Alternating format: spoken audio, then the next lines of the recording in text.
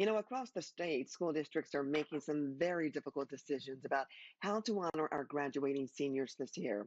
Well, tonight, our own Rich Nye spoke with school leaders and even students about the frustration of planning it all during the pandemic. Schools are choosing between virtual commencement ceremonies now or hoping for in person ceremonies much later. Franklin Central opted for a televised virtual commencement May 22nd.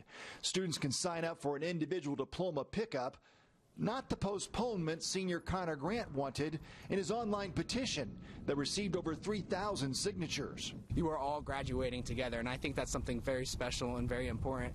And uh, for a lot of people, it's the only time that they get to experience something like that. Connor and a few of his classmates put together a proposal for a socially distanced commencement here at the football stadium later this summer but they feel like the administration was not really interested. We feel like our voices weren't really listened to, and what we wanted never really mattered. New Palestine administrators met with seniors and changed their plan to outdoor commencement July 11th, with graduates spread out on the football field. We had already thought about we probably would have to go virtual, and then we after that we talked among as administrators with our assistants, and we said how can we do this differently to give them what they want somehow? Perry Meridian is sticking with its original commencement date, but a virtual ceremony, May 21st. Two days later, graduates receive diplomas in a drive through process. But we feel that frustration as well, and expressing that to, to our parents, to our students, uh, I think there's an understanding there that we've been able to develop collectively